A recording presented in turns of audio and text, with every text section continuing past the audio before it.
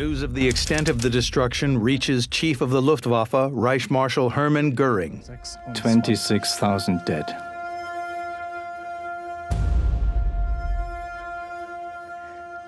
And counting. Raging. Panic in the streets. Hitler's director of air armament, Field Marshal Erhard Milch, urges the Fuhrer that the Luftwaffe should develop a defensive strategy. I will not tolerate these defeatist notions.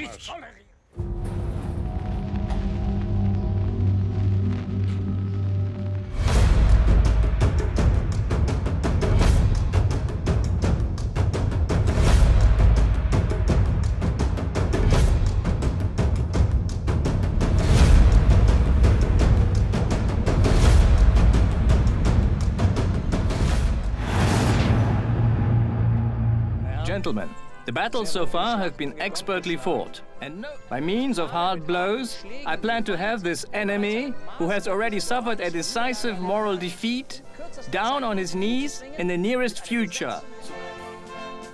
To victory!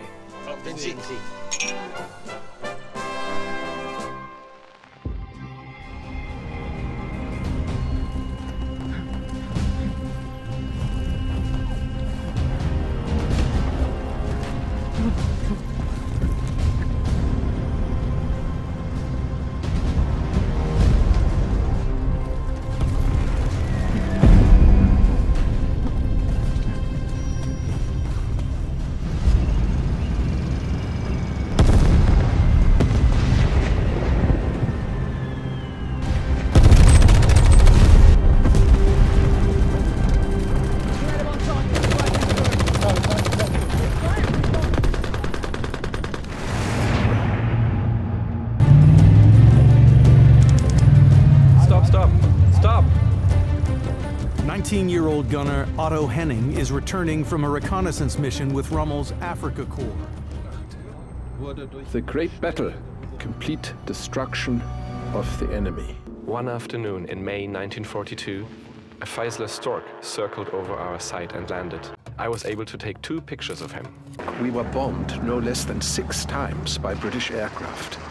On one occasion, I only just had time to throw myself into a slit trench. This kind of mindset is what stands between defeat and victory. It is a political necessity.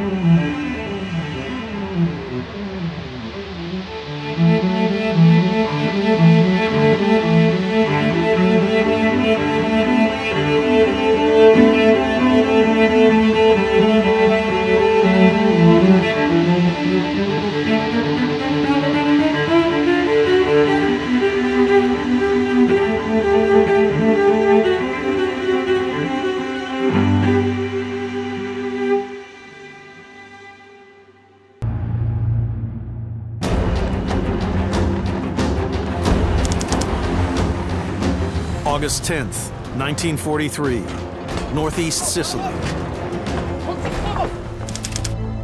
News filters back to Hitler's headquarters in East Prussia. Five large convoys of ships heading towards the southeast coast of Sicily. It may very well be a diversionary attack. One man who is not surprised to hear the news of the mass capitulations is Chief of German Forces in Italy, Field Marshal Albert Kesselring. Fire! Everything happening in a matter of seconds. More and more aircraft are arriving, gliders coasting down to Earth.